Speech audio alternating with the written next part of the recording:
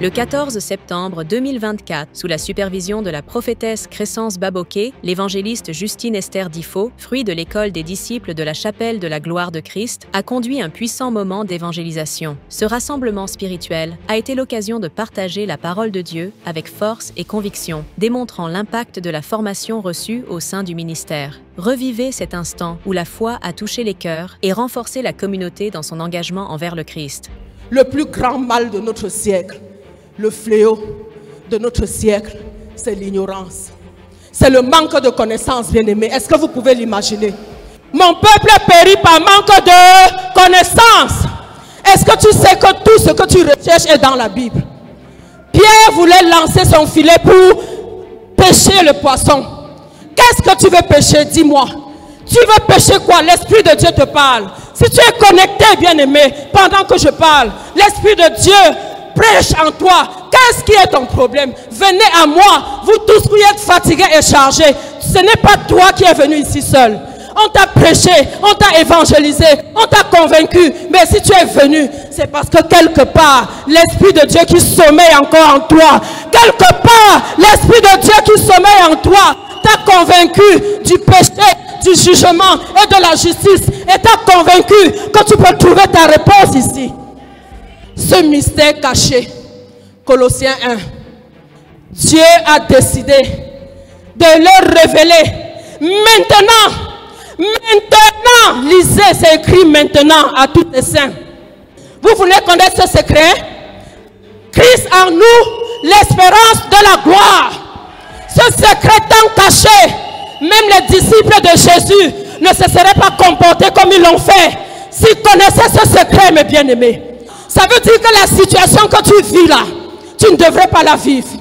Tu es marié depuis plus de 15 ans. Tu n'as pas d'enfant. Ton mariage est en train de chavirer.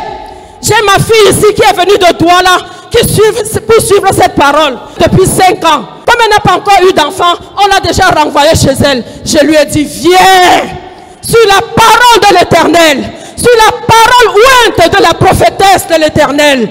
Tu concevras et la parole, c'est quoi? La parole pour ta situation, c'est quoi? Même la stérile enfantera cette fois. Bien-aimé dans 1 Samuel, juste après que Dieu ait donné Samuel à Anne, elle a commencé à louer l'Éternel.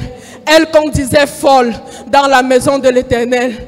Oh Yahweh, souvent on danse ici, on dit que, hé Madame PCA, tu es déjà comment? Comment tu danses en désordre comme ça? Je suis ivre de la joie de l'éternel. Je suis ivre du témoignage de l'éternel. Je suis ivre du témoignage de l'éternel. Comme Anne, ce n'est pas fini.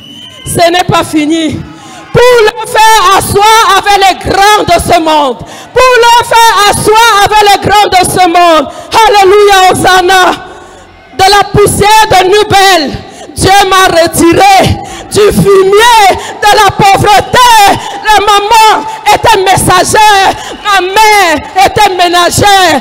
Enfant sans père, enfant sans père, enfant sans père, né dans la poussière de Nubel. Dieu nous a accompagnés, il nous a cadrés, il a mis en nous la sémence de la justice.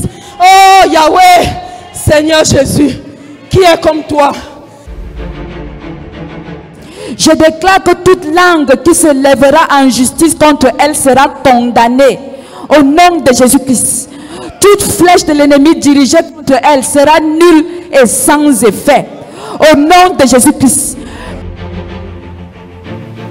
Rassurez-vous, venez ici samedi, vous, vous allez voir des gens porter la parole. Elle-même, vous allez la revoir une autre fois. Donc c'est comme ça ici, nous sommes dans cette ambiance. Frères et sœurs, elle a prêché la parole. Elle a dit sur ta parole. Elle a dit quoi? Sur la parole de qui? Est-ce qu'elle a dit sur la parole de la prophétesse Crescence? Est-ce qu'elle a dit sur la parole du pasteur Annie? Est-ce qu'elle a dit sur la parole d'un être humain? Mais elle a dit sur la parole de qui? Jésus-Christ. Alors je vais te dire, à chaque fois que tu t'engages sur la parole de Jésus-Christ, même si tu entres dans une église où on fait la sorcellerie, la sorcellerie ne t'atteindra pas. Parce que tu es venu chercher Jésus-Christ. Vous savez pourquoi les gens entrent dans les sectes? Parce qu'ils viennent avec les idées contraires. Ils viennent rencontrer les hommes. Ils viennent faire des choses bizarres. Ils viennent vous frapper. Ils viennent avec des penchants. Mon frère entre dans une église pour chercher Jésus.